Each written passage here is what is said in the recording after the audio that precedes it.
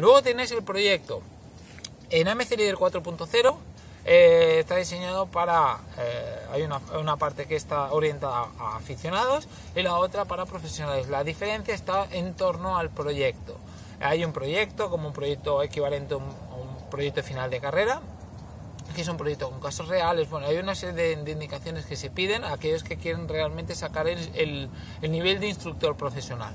Pero aquellos que quieren sacar el, el AMC Leader, el AMC Leader 1 a nivel de non-pro, pueden hacerlo perfectamente. Simplemente no tienen por qué hacer el, el proyecto.